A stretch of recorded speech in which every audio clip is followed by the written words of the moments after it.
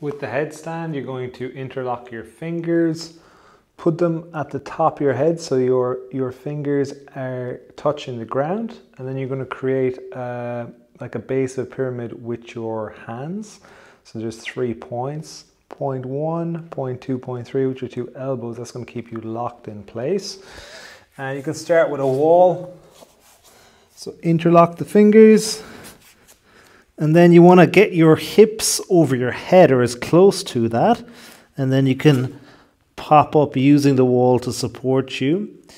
And then slowly you can bring your toes extended overhead, squeezing the glutes and pushing the ground away.